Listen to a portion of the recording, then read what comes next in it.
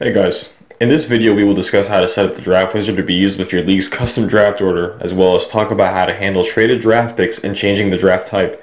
To begin, simply navigate to your My Leagues page and select the league you'd like to edit.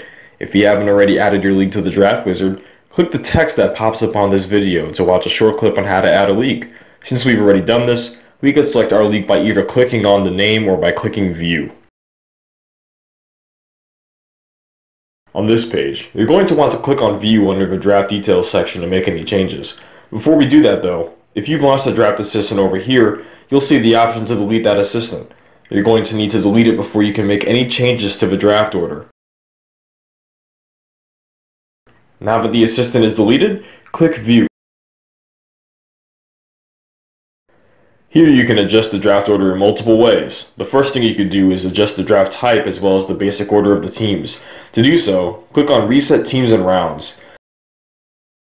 Here, you could pick different draft types such as Snake, Linear, Third Round Reversal, or Auction drafts. Once you've got the draft type selected, you could adjust the rounds in basic draft order by dragging the teams into the order that you'd like them in. After updating the roster, click Save below. If you need more customization or need to account for traded picks, go back to the previous page. Here you can click the drop-down box for any pick to assign a different team to that spot. If you need to reverse the order for a specific round, you can click on the flip round option here on the right. You can also add or remove picks from teams and rounds if you click on the Allow Add Remove Picks checkbox. You'll then have the option to delete draft picks by clicking on the trash can icon, or you can add an extra pick to any round by clicking the link to the right of the round. If you're looking to edit a specific team's picks, you can get an easier view by highlighting that team by selecting them in the drop-down box here. Finally, you also have the option to quickly add or remove rounds at the bottom of the page. The remove and add buttons will have an effect on the last round listed.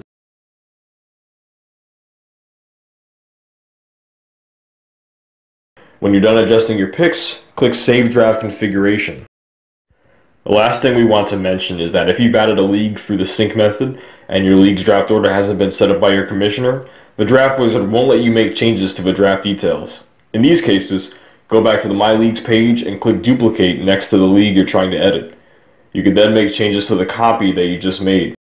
Well, that's it for this video. If you're still having trouble, please visit our frequently asked questions page located here or email us at draftwizard at fantasypros.com.